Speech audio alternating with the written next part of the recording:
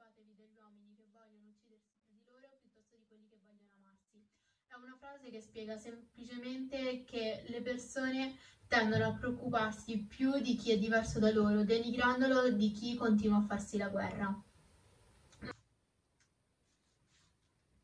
Ma partendo dal principio, che cosa vuol dire il termine omosessualità? Cercando in un qualsiasi dizionario della lingua italiana o anche estera si avrà come spiegazione inclinazione verso soggetti del proprio stesso sesso.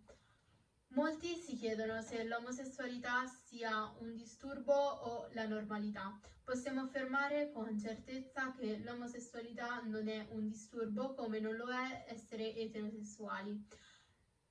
Nel 1952 però l'omosessualità veniva ancora considerata un disturbo sociopatico della personalità, mentre nella seconda edizione del manuale diagnostico delle malattie mentali venne categorizzato come una deviazione sessuale pari alla pedofilia. Solo nel 1973 eh, vi fu il primo passo per depellare completamente l'omosessualità dalle malattie mentali. Venne approvata solo nel 1990 e eh, resa ufficiale nel 1994. Nel 1993, sempre nella stessa linea, l'OMS, cioè l'Organizzazione Mondiale della Sanità, decise di depennarla completamente dalle malattie mentali.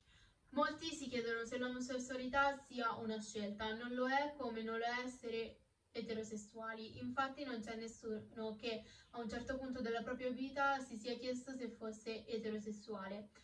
Ciò che però che gli omosessuali possono fare se accettare o no la propria identità. Se uh, questa identità non viene accettata si creerà dentro di loro un'omofobia interiorizzata che porterà poi la persona a vivere nella paura. Ma ora parliamo dell'omosessualità in Italia. Nel 1860 il Regno di Sardegna raccolse nel neonato Regno d'Italia una serie di stati che avevano tutti, meno che due, abolito l'effetto del codice napoleonico, la punizione per, per atti di libidine fra uomini adulti e consenzienti. Nel 1859 Vittorio Emanuele II aveva promulgato il nuovo codice penale che venne poi acquisito da tutto il Regno d'Italia. Questo puniva gli atti di libidine fra due uomini, cioè tutti quegli atti che non portavano alla procreazione. Per un carattere eccezionale non venne però eh, promulgato all'ex regno delle due Sicilie. Per questo la pratica omosessuale poteva essere un reato a Torino, Cagliari e Milano, ma non a Palermo, Bari e Napoli. Questa era una situazione alquanto anomala che venne poi sanata nel 1887 con la divulgazione del codice penale Zanardelli, dove veniva abolito qualsiasi differenza fra atti omo ed etero. Questa situazione non cambiò neanche con la promulgazione del codice Rocco del 1930 e non cambiò neanche durante il fascismo, ma questo però non proibì al fascismo di colpire eh, le persone omosessuali che potevano eh, ricevere delle punizioni amministrative o anche la morte. Oggi i diritti delle persone gay, lesbiche, transgender e bisessuali sono notevolmente cambiati anche se questi possono ancora affrontare degli ostacoli dal punto di vista legale. Uh, L'Italia però uh, si considera una nazione gay friendly. Dal 1890 non è più un reato, mentre dal 2016 sono state approvate anche le unioni civili, anche se all'ultimo dalla, dalla legge fu tolto il diritto all'adozione. Ma ora parliamo di che cos'è l'Italia. L'Italia è una repubblica parlamentare, cioè dove il popolo elegge il Parlamento, che a sua volta elegge il Presidente della Repubblica, che nomina il governo. L'Italia inoltre è uno Stato democratico fondato sul lavoro, come si esplica nell'articolo 1 della Costituzione. Inoltre è uno Stato regionale con 20 province che sono indipendenti fra di loro, ma che comunque devono sottostare al governo principale. Ha una Costituzione rigida che è entrata in vigore il 1 gennaio del 1948 e in questa Costituzione vengono sanciti i diritti fondamentali dell'uomo negli articoli 1-12, poi i diritti e doveri dei cittadini nella parte 1. Nella seconda parte viene sancito l'ordinamento della Repubblica. Repubblica e infine ci sono 18 articoli finali e transitori. Uno dei più importanti articoli che andrò ad analizzare ora è l'articolo 3, parlando appunto del fatto che tutti i cittadini sono uguali davanti alla legge.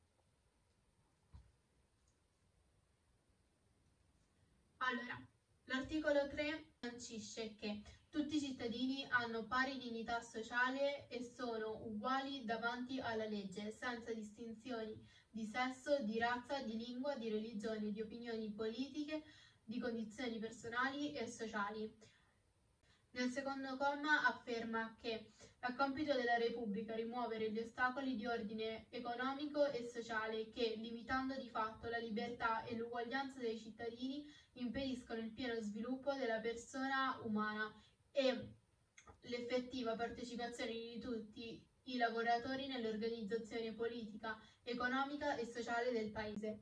Nel primo comma viene affermata quindi un'uguaglianza formale, cioè dove si sancisce il fatto che tutti sono uguali e che non vi dovrebbe essere nessuna distinzione. Questo comma viene poi reso effettivo nel secondo comma, dove si parla di un'uguaglianza sostanziale, in quanto la Repubblica si impegna a rimuovere tutti gli ostacoli che possano limitare questa uguaglianza. Inoltre in questo articolo viene sancito il diritto a essere diversi, in quanto se non si fossimo diversi non vi potrebbe essere nessun tipo di uguaglianza.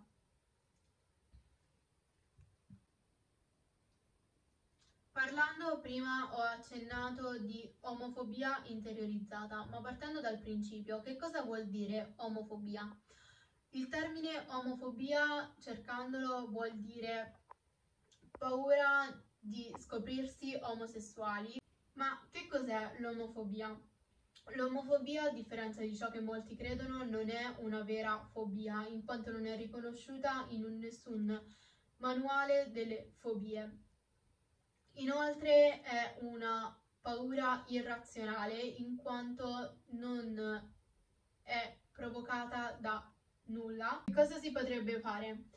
Il 31 marzo di quest'anno è stata proposta una nuova legge, la legge Zan, un'estensione della legge Mancino che andrebbe a modificare sostanzialmente gli articoli 604 bis e 604 ter del codice penale che riguardano le discriminazioni per etnia e religione, ma a causa del coronavirus non è stato possibile approvare o discutere questa legge.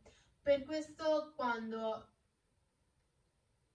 per questo, in occasione, in occasione della giornata contro l'omofobia del 17 maggio, è stato ribadito da più politici il bisogno di questa legge. Si andrebbe indicativamente a discutere verso luglio di quest'anno. Si spera con tutto il cuore che possa essere approvato.